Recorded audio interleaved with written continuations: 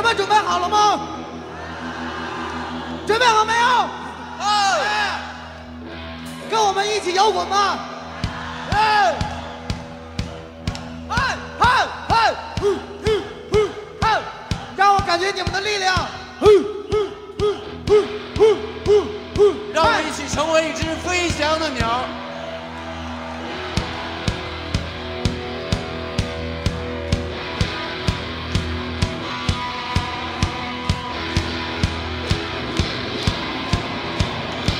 有的人，让我看看你们所有人的手。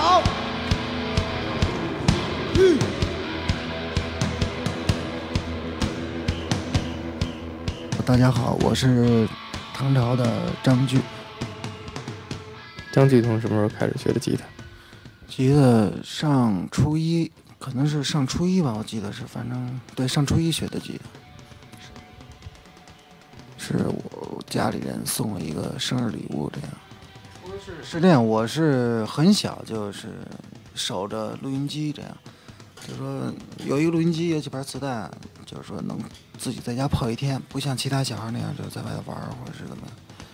然后就是再加上院里，就是说我住的环境也是都是搞文艺的，或者是大提琴、小提琴、歌剧什么的，乱七八糟，总中歌舞团嘛。所以说，就说多少有点影响。然后呢，这样就家里人可能就是这样送一把吉他，可能让我让我学学什么这样。你是从什么时候开始改的贝斯？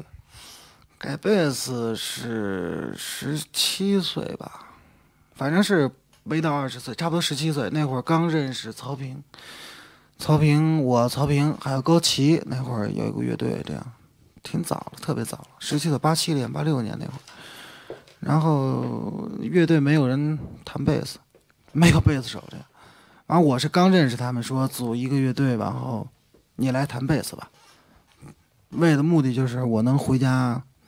要钱买把贝斯，这样，这样改的贝斯。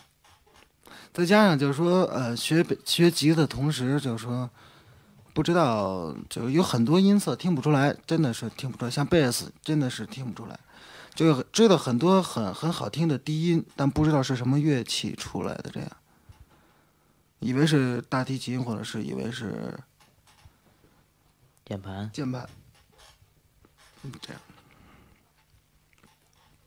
反正一一一学上就就就喜欢上，或者是我，而再一个，我觉得贝斯、吉他其实都是通的，这样跟你的音乐感觉什么其实没有什么特别大的障碍，只是一个练习的过程。比如说贝斯手改吉他，或者是吉他改贝斯，只是对，都是很只是一个技术过程，对。